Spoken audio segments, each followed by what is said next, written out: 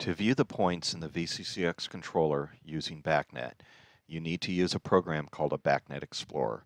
I have chosen to use a program called Yet Another BACnet Explorer, or YABE for short. It is a free program you can down from the, download from the internet. There's no registration fees, there's no uh, time limits or anything like that, so it's a cheap and easy tool. Uh, so we're going to use that for our demonstration here. So I've got my uh, USB to 45 adapter connected up to my controller right now. And what I'm going to do is I'm going to add a device. So I'm going to click on this button here and it will pop up this window here. Now we need to set up this section right here because we're doing BACnet communications over MSTP using a serial port. So I'm going to do a port. I'm going to choose my COM port that my USB to serial adapter is connected to. Then I'm going to choose my baud rate that my controller's set up at. So I've got it set up for 38.4 or 38,400. We need to set the MAC address that the computer is going to use for the MSTP network. So I have chosen to set my computer's BACnet address to 127 for demonstration purposes. I'm also going to set my max masters to 127. The max frames, I'm just going to leave at 1. Now I'm going to click the add button. This is going to start populating right up here. So it has pulled up the device controller, which is device ID number 151,241. So that's the device ID. And here's the MAC address of the controller I'm communicating to. It happens to be MAC address 1.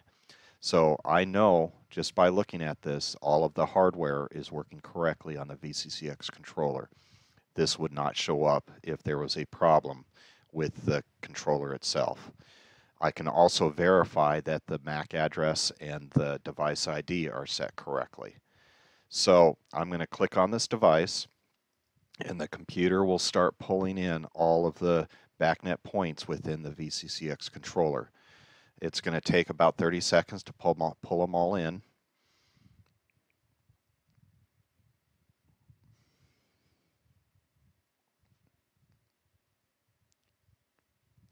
Once it's complete, you can scroll down and see all of the points.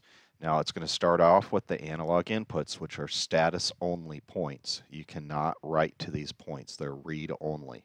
So these are going to be status points of anything that is a decimal related value or a changeable value besides on and off.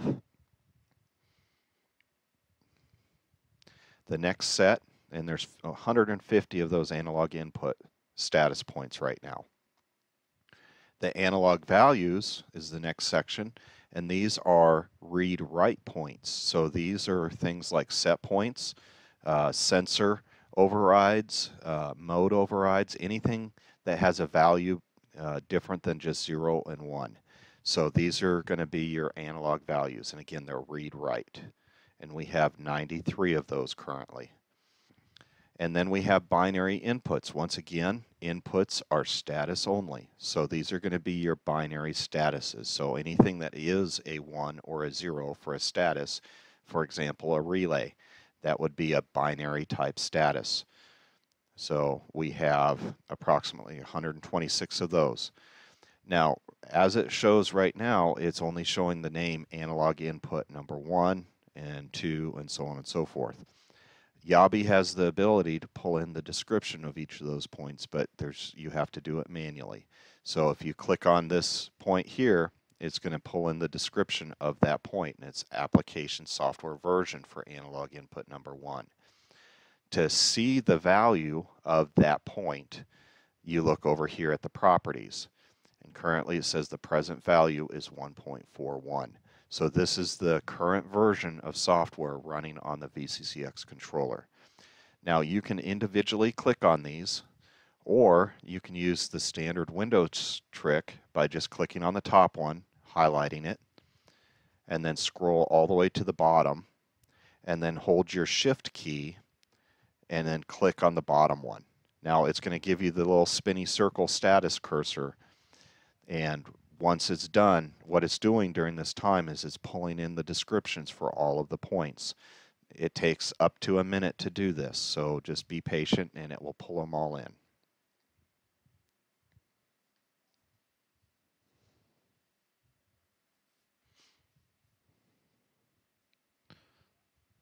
All right, it has pulled all the descriptions in.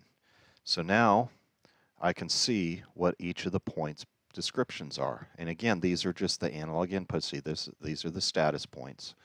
So if you wanted to look at this uh, space temperature, the current space temperature, I can just click on the space temperature point.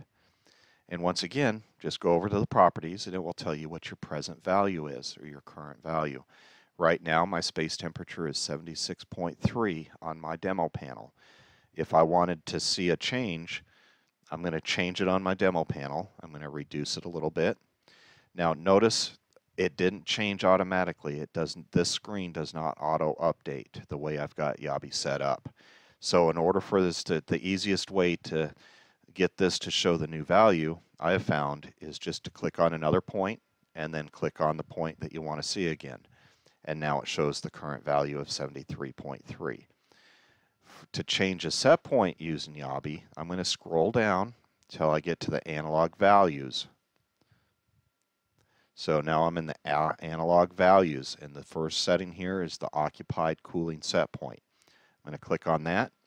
Currently, my occupied cooling set point is 75 degrees. If I want to change that using Yabe, I can highlight it and type in my new value. So I'm going to put 76 in there and I'm going to press enter and that sends it to the controller. So if I click on another point and then come back to the occupied cooling set point, it still says 76, so it accepted it into the controller. You can also hook up your Prism software and see the change in there as well.